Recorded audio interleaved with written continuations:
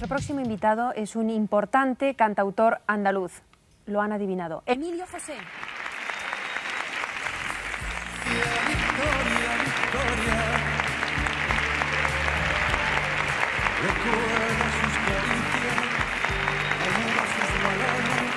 Hola, Emilio.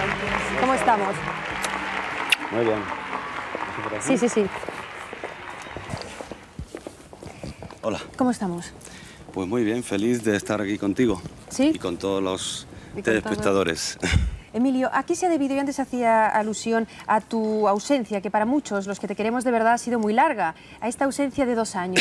¿Qué y ¿Por qué esta ausencia?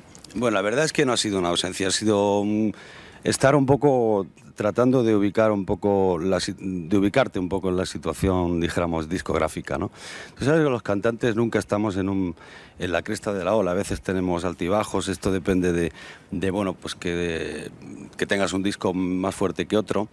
De que de repente te cambias de una compañía a otra y estás ahí en un, en un compás de espera que, que a veces se hace un poco largo no pero vamos, en realidad, y a veces también conviene retirarse un poco a meditar, un poco a ver Darse un año sabático. para- Exactamente, para ver cómo enfocas tú tu, tu trayectoria en lo sucesivo, ¿no? ¿Y cómo es tu... Ahora regresas con un nuevo LP. ¿Cómo es este, este nuevo LP? Bueno, el LP que estoy haciendo, vamos, que estoy preparándolo porque, bueno, Victoria ya es un LP, yo ya digo que es de los antiguos, porque en realidad estoy preparando las canciones de, de lo que va a ser mi próximo disco. Y van a ser canciones de todo, a ver, un poco de todo.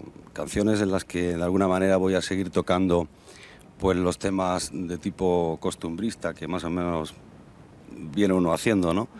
Voy a hablar, por supuesto, del amor, voy a hablar de la amistad, voy a hablar de, de cosas que realmente a uno le puedan interesar y que intuya que de alguna forma también le puede interesar a la gente, ¿no? Y también vas a hablar, me parece, de la, de la niñez. Y voy a hablar de la niñez, por ¿Cómo, supuesto. cómo recuerdas tú tu niñez? Porque tú naciste en un pueblecito o pueblo Mm. de Córdoba, te trasladaste muy joven, creo que tenías 13 años, a una gran ciudad, Barcelona. ¿Qué recuerdas de aquella época? Bueno, la verdad es que es como, yo lo recuerdo como entre humo, como cuando venía por aquí, ¿no? Hace un rato, cuando entraba por ahí. La verdad es que es como un sueño, porque realmente fue un salto grandísimo, ¿no? El, el que di de un pueblo de, de 3.000, 4.000 habitantes a una ciudad de, de 3 millones, ¿no? Emilio, ¿qué recuerdas de aquel año que fue muy importante para ti, el año 73, y que fuiste el ganador del Festival de Benidorm? Bueno, recuerdo que fue una alegría tremenda la que, la que tuve, porque imagínate ganar un festival cuando uno empieza a cantar y de alguna manera andas buscando abrirte camino dentro del mundo de la música, era muy importante para mí ga- ganar y realmente mm, lo fue. Fue prácticamente, bueno, pues la plataforma de lanzamiento eh, que yo tuve para darme a conocer a la gente, para que supieran que había un señor que se llamaba Emilio José y que andaba por ahí intentando cantar y contar cosas. Lo que es cierto es que la canción Soledad dio la vuelta al mundo, porque empezaste entonces a partir de ahí las giras por Sí, toda Sudamérica. Sí, además que tuve la suerte de que el Festival de Benidorm de aquel año se transmitía a través de la OTI para toda América. De manera que me pudieron ver en Argentina, en Puerto Rico, en Venezuela, en Colombia, en un montón de sitios, prácticamente en toda América. Y eso, pues de alguna forma, también me vino muy bien porque también allí me conocían, ¿no? Y, ahí, y aparte me dio pie para poder ir a cantarle Soledad y otras muchas cosas que uno tenía de antes. Emilio, tú eh, realmente mm, sigues siendo, o sea, te sientes siempre, al menos en las declaraciones que haces, andaluz por los, por los cuatro costados. Sí, sí, sí. Y antes, antes en tus canciones siempre estaba el tema, el tema de Andalucía, de tu tierra. Pero a mí me ha llamado la atención una frase que, he leído, que no sé, no sé si a veces en la prensa no puedes hacer mucho caso, pero que decía exactamente, tendré que dejar mi Andalucía para que todo el mundo llegue a entender mis canciones. No, bueno, lo que pasa es que yo creo que las cosas desde la distancia se aman de una manera más intensiva, de una forma más, más, más fuerte, ¿no?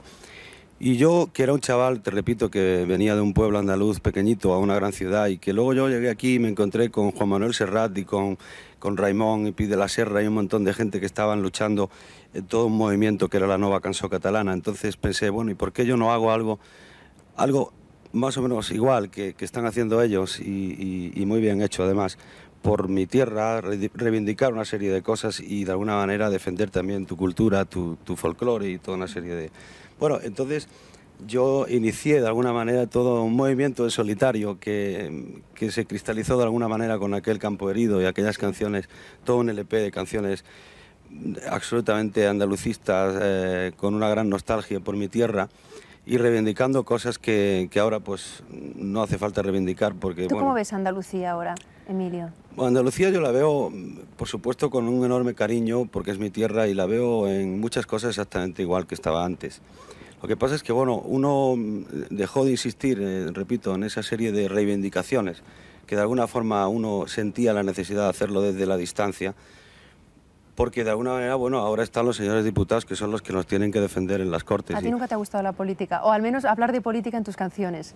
Hacer no, política con No me ha gustado nunca llevar etiquetas. Sí me ha gustado... No es que la política no creo que, que, sea algo que guste demasiado. A mí no es que me guste. Simplemente, bueno, la política es que la tienes que, que aceptar como algo que está ahí que, y que, bueno, todo es política de alguna manera. Lo que pasa es que, bueno, no he sido un hombre eh, que me haya... Eh, eh, comprometido o, que haya decidido ir por el camino de la, de la canción eh, eh, evidentemente, dijéramos, testimonial o de protesta. Yo protestaba cuando realmente yo sentía que algo tenía que decir y lo decía, pero tampoco quería las etiquetas. Yo quería ser libre, he querido defender mi autonomía en ese sentido siempre, ¿no? ¿Y cómo compromete un primer amor? Un primer, un primer amor depende de, lo, de cómo sea ese primer amor.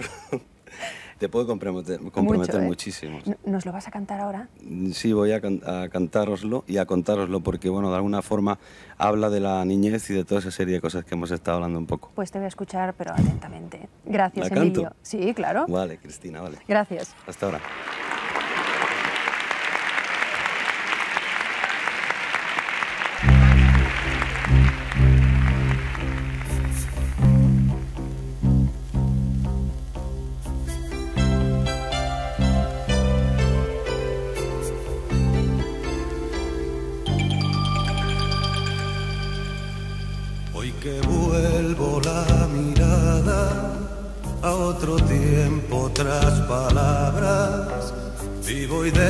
Que en mi pecho se agolpaban.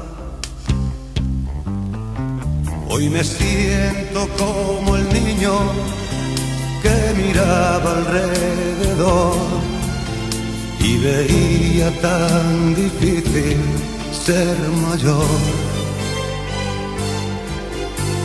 ¿Dónde está el escaparate con muñecas de cartón? y aquel coche maravilla de hojalata. Y al llegar el 6 de enero, esa noche de ilusión, en mis botas caramelos de carbón. Y mi primer amor, quién sabe dónde está. Habrá encontrado su zapato de cristal, a quien hará soñar ser el príncipe azul de aquel cuento que guardaba en su baúl. Me imagino de regreso a ese pueblo, aquel jardín, a la sombra de aquel verde limonero. Caminando hacia la escuela, mi cuaderno en la cartera, con los cromos, el compás y la merienda Solo soy el peregrino de unos años de un camino que dejé hace tiempo ya de regreso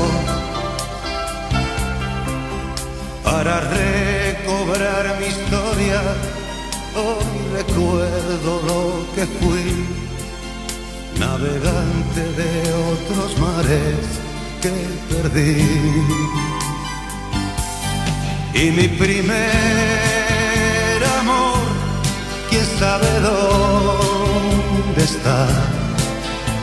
Habrá encontrado su zapato de cristal, a quien hará soñar ser el príncipe azul de aquel cuento que guardaba en su baúl.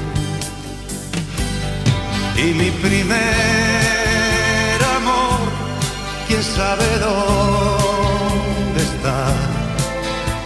Habrá encontrado su zapato de cristal, a quien hará soñar ser el príncipe azul de aquel cuento que guardaba en su baúl.